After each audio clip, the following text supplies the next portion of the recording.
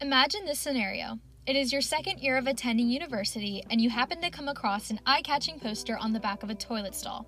It reads, What color is Monday? If you can answer that question, you might have synesthesia. Staring in disbelief, you text one of your friends the same question and get the response of, I have no idea what you're talking about. Suddenly, you realize that maybe what you've been experiencing your entire life isn't exactly the norm. This is the story of Holly Baxter, and seeing a color associated with Monday is an ordinary part of her day. She's always known that Saturdays are yellow and Thursdays are dark blue. The names Audrey and Kirsty have the texture of folded curtains, and the word enlightenment is magenta with a bubble like texture. Holly's condition is known as synesthesia. The word comes from the Greek synth, meaning together, and esthesia, meaning perception. Simply defined, synesthesia is a sensation produced in one modality when a stimulus is applied to another modality, such as when the hearing of a sound induces vision of a color or a word has a specific taste. Synesthesia has more than 80 identifiable types. Some of the most common include grapheme color, where letters and numbers have their own colors, and spatial sequence, where numbers, months, and days of the week are located in specific places in space. Combining all types of synesthesia, up to 4% of the population is affected. Interestingly, the condition is most prevalent among artists, with an estimated 23% having synesthesia. This isn't surprising when looking at notable figures who are said to have or have had the condition Vincent van Gogh, Kanye West, Billy Joel, Pharrell Williams, John Mayer, and Marilyn Monroe.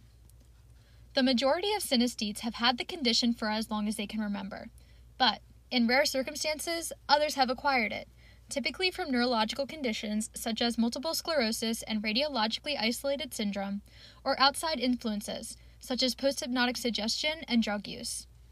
Neuroscientists aren't exactly sure what causes synesthesia, but for innate synesthetes, evidence points to more connections between parts of the brain responsible for sensory interpretation, typically visual, auditory, and intraparietal networks.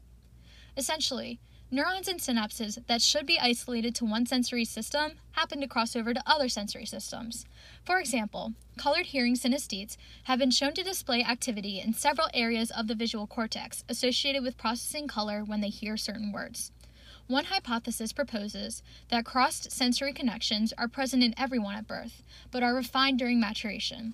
In synesthetes, these connections remain throughout adulthood and are not lost.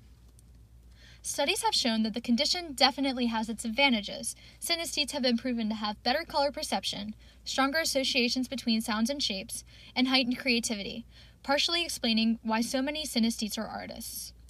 Synesthesia can also be conducive to learning. Synesthetes appear to be able to use their unusual experiences as mnemonic devices, providing useful while learning abstract concepts.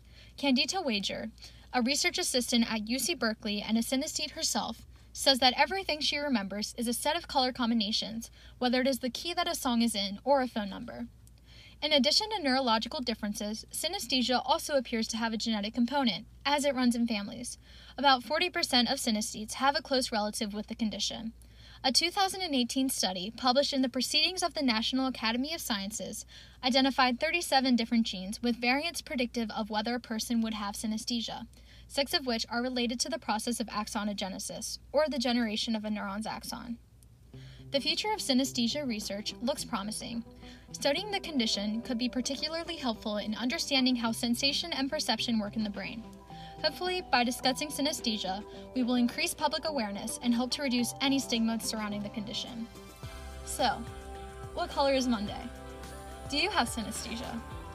If so, leave a comment down below to share your experience. Thank you for watching.